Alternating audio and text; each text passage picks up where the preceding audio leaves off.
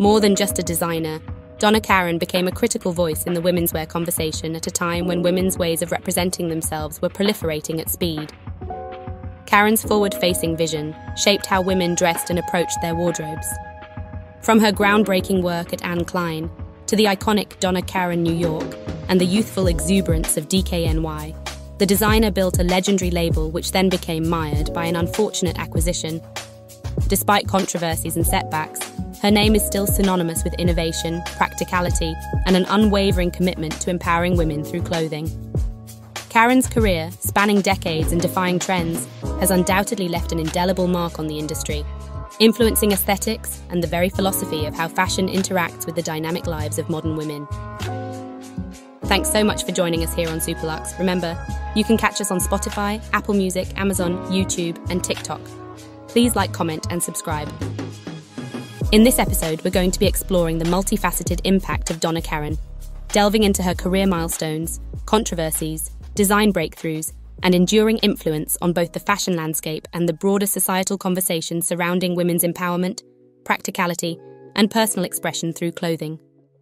Through a closer examination of her iconic collections, brand philosophies, and philanthropic endeavours, we will illuminate the essence of Karan's legacy and its continued relevance in today's ever evolving world of fashion.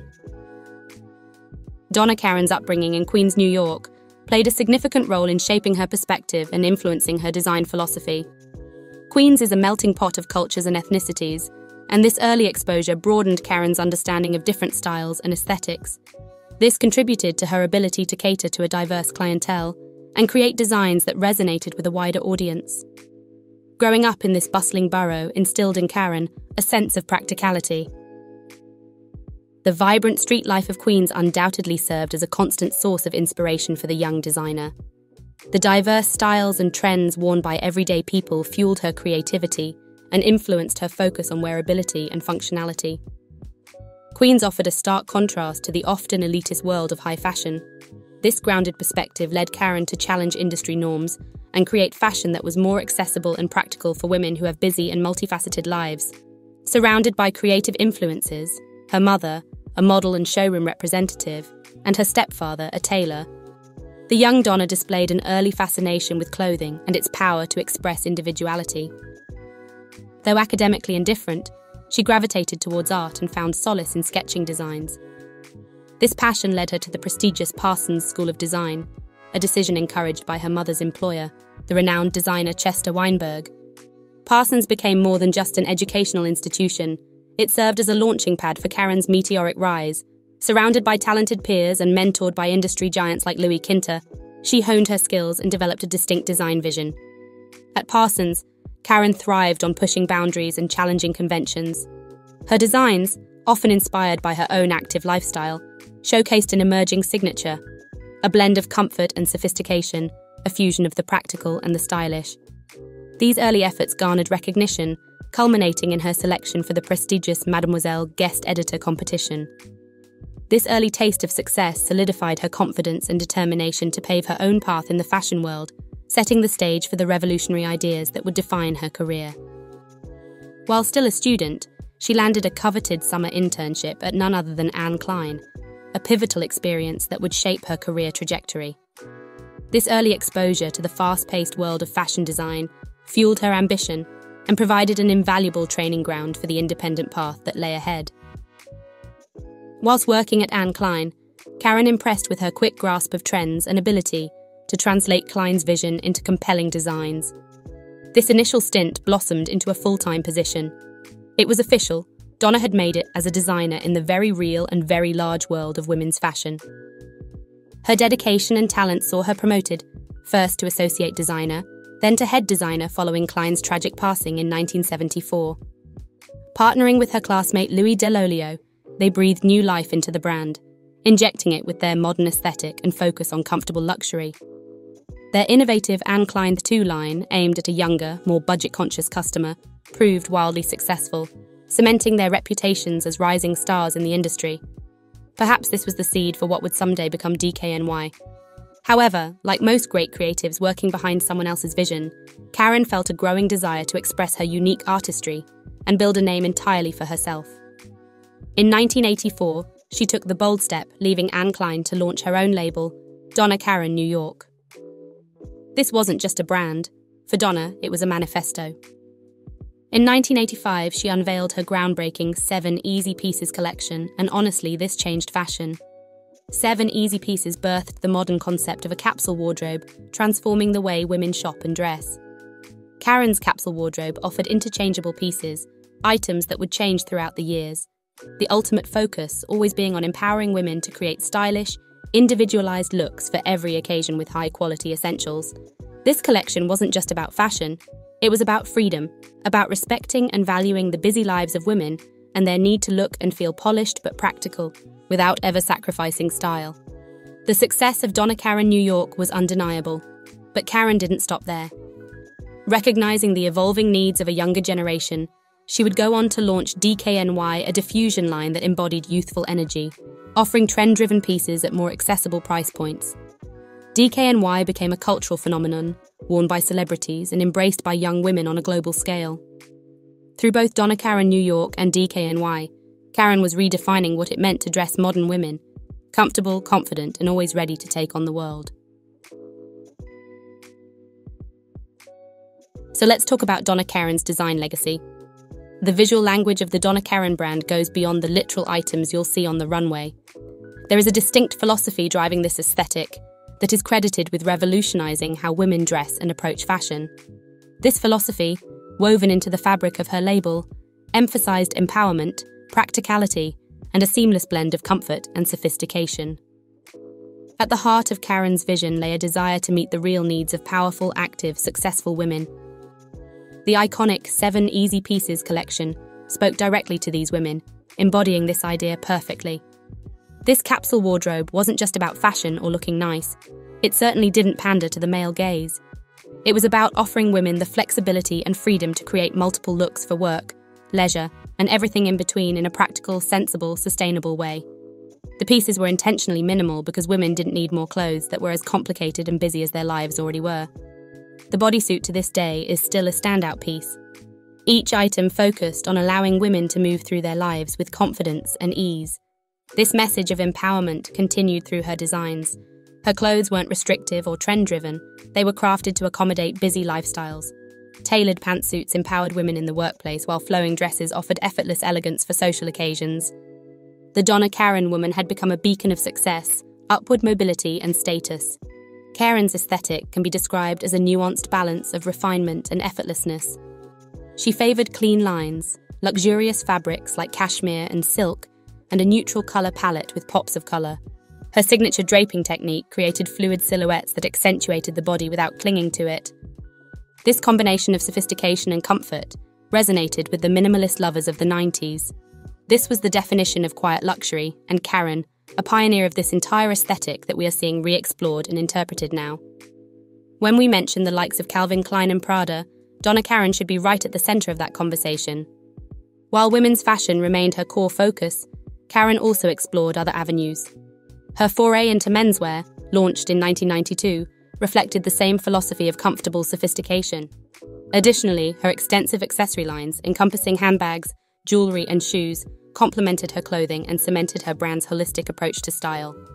A Donna Karan piece meant practicality meeting power. Gone were the days of rigid, uncomfortable suits dominating women's professional attire. Karan offered options that were as comfortable as they were stylish.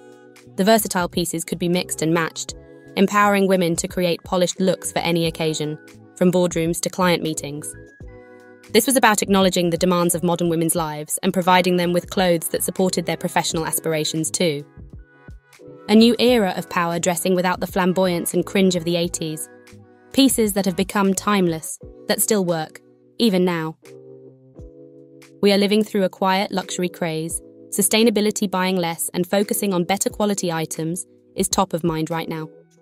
But long before minimalist trends dominated social media, Karan pioneered this very concept of a capsule wardrobe. By offering interchangeable pieces in muted tones, she challenged heavy consumption and encouraged women to invest in quality basics that could be worn season after season. The plan here was to simplify decision making, but also promote sustainability and mindful consumption, concepts that have only grown more relevant in today's eco conscious climate. Karan also went beyond black and white. While the core seven easy pieces were primarily black and white, Karan championed versatility through layering and accessorizing. This encouraged women to express their individuality within a curated framework, breaking away from the monotony of traditional business attire.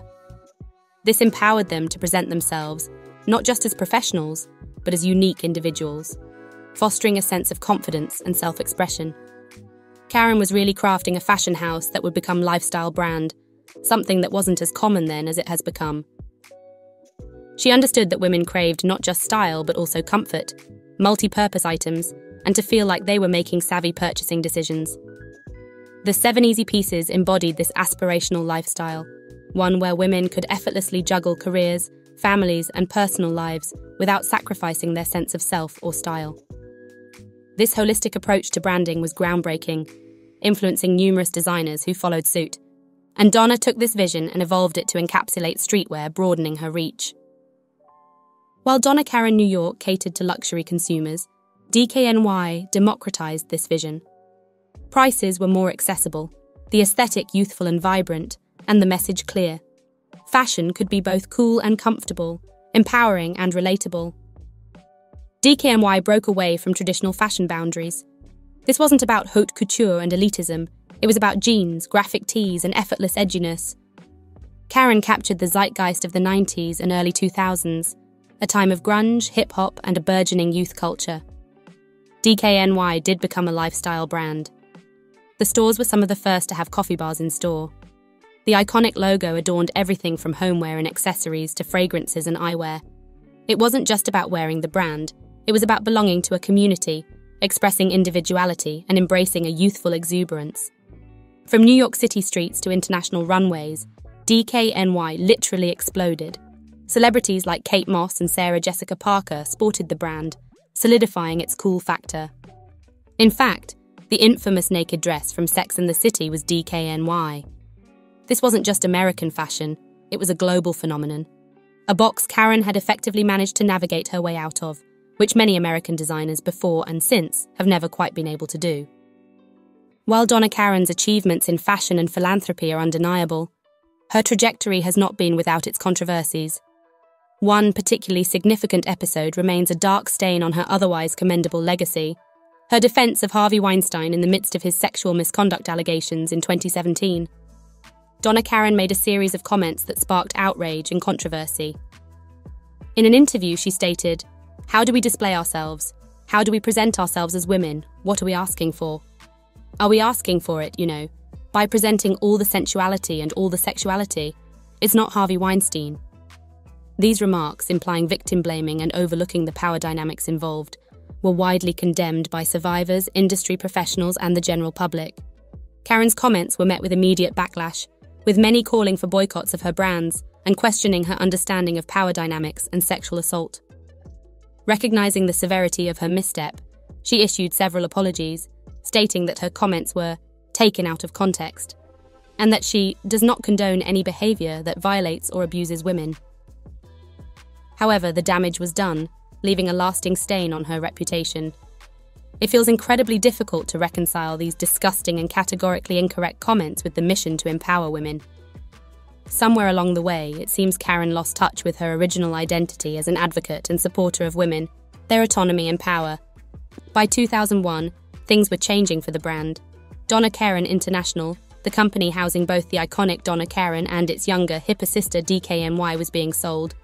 This wasn't just any sale, it was the culmination of a journey that began with audacious dreams, boardroom battles, and ultimately a changing fashion landscape. DKI had become a fashion powerhouse, but the winds of change were blowing. Luxury giant LVMH saw an opportunity to expand its American market share and snatch the brand up. This was supposed to be a match made in fashion heaven, but the cultural differences proved stark. Donna Karan, a visionary designer with a strong creative voice, clashed with the corporate structure of LVMH. Meanwhile, the fashion landscape itself was shifting. Athleisure was on the rise and the luxury market was becoming increasingly competitive. Despite attempts to revive the brand, LVMH struggled to replicate Donna Karan's magic touch. New designers came and went, but the iconic spark seemed lost. By 2016, with Donna Karan herself no longer at the helm and sales figures lagging, the decision was made. LVMH was selling. The buyer? G3 Apparel Group, a company known for its more accessible brands. This marked a new chapter for Donna Karan. The future was uncertain, but one thing was clear. The brand that once embodied power dressing for the boardroom was entering uncharted territory. The DKNY we've come to know hasn't retained its once prestigious legacy under the new owners. The focus on mass appeal lowered the brand's value and diminished its message. This felt like a loss for the house, and for the past few years, the brand has languished in a weird TK Maxx outlet kind of space. But in February of this year, the Donna Karan brand has been thrust back into the limelight, and this time it's looking like its old self again. Still under the umbrella of G3 Apparel Group, the Donna Karan brand has engaged eight legendary supermodels, such as Cindy Crawford, Linda Evangelista, and Liya Kebede, to feature in its In Women We Trust campaign, heralding the brand's revival. Captured by the lens of legendary Annie Leibovitz, this campaign is set to signify a rejuvenation of the brand's storied history and its forward trajectory, positioning Donna Karan New York as a purveyor of timeless elegance, the empowerment of women, and accessible luxury, all reimagined for the contemporary woman. The campaign is described not just as a promotional initiative, but as a potent representation of eight iconic women who capture the essence of Donna Karan's rich heritage, its current identity, and its aspirations for the future. We can't wait to see how the market responds with more quiet luxury players than ever to contend with. Perhaps the rise of brands like Khaite, the Row, and Phoebe Philo's eponymous launch inspired something in G3 Apparel Group and reminded everyone of Karan's keen eye for simplicity and refinement. Donna Karan's legacy was never just about clothes. Her design vision and aesthetic were born out of an intention to truly empower women, challenge norms, and leave a positive mark on the world of female led fashion. Whether through her groundbreaking designs, philanthropic endeavours, or simply by inspiring future generations, her impact on fashion and society is undeniable. As the industry continues to evolve, and trends like quiet luxury float in and out of the cultural subconscious, Karan's name will always bear relevance. Thank you so much for watching. You can find our podcast on Spotify, Apple, and Amazon Music, and you can catch us on YouTube, TikTok, and Instagram at Superluxe Source. Please like, comment, and subscribe. Until next time.